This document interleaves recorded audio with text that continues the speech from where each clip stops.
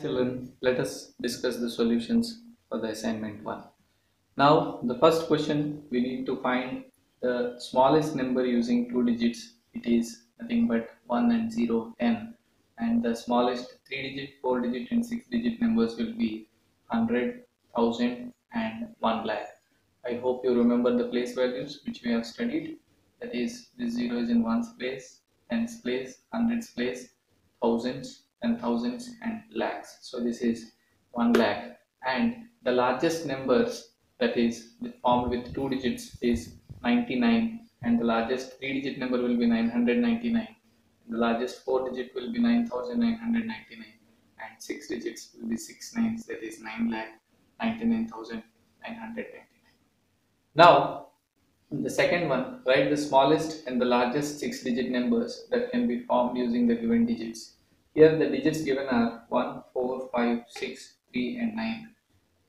In writing the smallest 6 digit number, we need to keep the uh, numbers, write the digits in ascending order. Means the smallest digit should be written first. The smallest of this is 1. So 1 is written first, then 3, then 4, then 5, 6 and 9. So it becomes 1,34,569 and if you want to write the largest 6 digit number, the largest digit should be written first that is 9 so 9 should be there in the first that is lakhs place then 6 then 5 4 3 and 1 so it is 9 lakh 65431 we can follow the same rule for writing this. But if you see the third one here it is having digits 6 4 5 8 9 and 0 when you use the same rule here for writing the smallest six digit number you need to keep 0 in the first place that is here that is in lakhs place. But if you keep it in the lakhs place here what happens is because this 0 is in lakhs place this becomes only a 5 digit number. So we need to write the next smallest digit that is given here in the first place and 0 should be written next to it. So the smallest digit next to 0 given here is 4 so 4 is written in lakhs place, then 0 in 10,000, then 5 in 1000, 6, 8 and 9. So it becomes 4 lakh 5689 and 0 doesn't make any difference in writing the largest 6 digit number. So it is 9 lakh 86,540. These are the solutions for the assignment.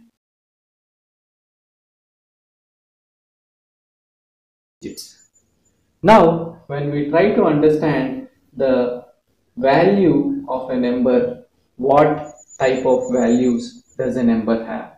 Now, if we try to understand the values of the number, a number is having two values named as place value and face value. Now, in the last class we have understood about digits. We know if the symbol is 3, its original value is 3. That original value itself of that number is called as the face value. In other words, the face value or the value of the number is always the same.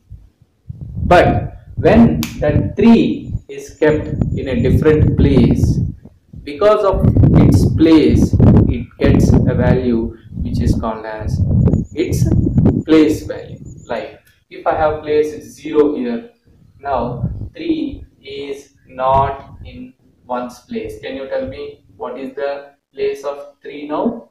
3 is in tens place. Because 3 is in tens place, the place value of 3 is the face value multiplied by its place. This is nothing but the face value and it is multiplied by the place. So we get uh, 3 tens are 30 will be the place value of this particular 3 here. So you should try to understand the difference in between face value and place value of different digits. In class 4 we have studied the Indian numeration till lakhs. So let us see a few examples in this like if 4596 is given if what is the place value of 5 and what is the face value of 5 if you try to understand the face value will always remain the same as the value of the number. Face value will never change. The number's face value and its value is always be the same. So it is 5 then what is its place value so if you try to understand what is its place value the face value of the number multiplied by the place in which that particular digit is present in that number is called as the place value. Now you know the place values. This is in ones place, this is in tens place, this is in hundreds place, and this is in thousands place. So 5 is in hundreds place. So 5 should be multiplied by 100. When you are multiplying 5 by 100, we get 500. So 500 is the place value of 5 in 4596. Now one more example for you. 67,359. Now I want to know what is the face value as well as the place value of the underlying digit 6. So the face value will always remain the same as told but the place value is the face value multiplied by the place in which the digit is in that number. The place in which the digit is in that number. Now you see this is in ones place this is in tens place hundreds place thousands and ten thousands. So we should multiply it with the 10,000 when we multiply it with 10,000 60,000 is the place value of 6 uh, in this particular digit that is 67,359. Now, what is the place value of 7? The place value of 7 is 7 should be multiplied by this 7 is in which place? Ones, tens, hundreds, thousands place. So 7 is multiplied by 1000. When 7 is multiplied by 1000, we get 7000.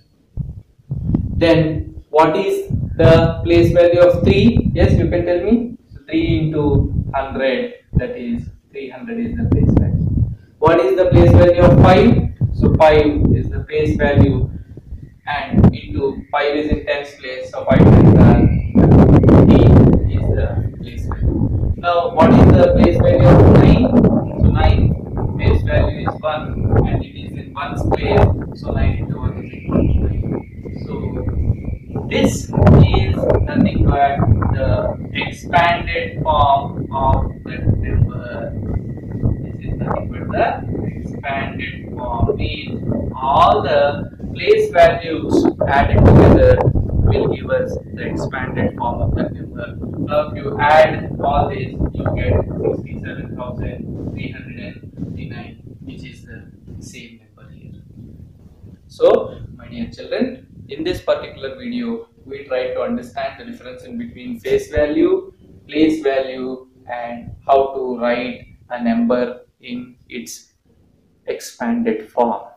For example, if there is a number 9873 or uh, 98,000 or we can make it as 6 lakhs 98,732 we can write it as 6 lakhs is the place value of 6 plus 90,000 is the place value of 9 plus 8,000 is the place value of 8 plus 700 is the place value of 7 plus 30 plus 2 this is the expanded form of 6 lakh 98,732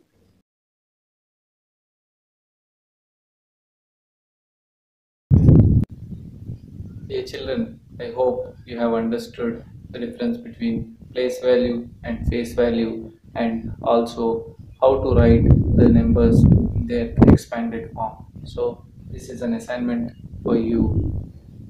Please try to do it in the next class. We will try to meet with the answers of this assignment. Thank you and have a nice day.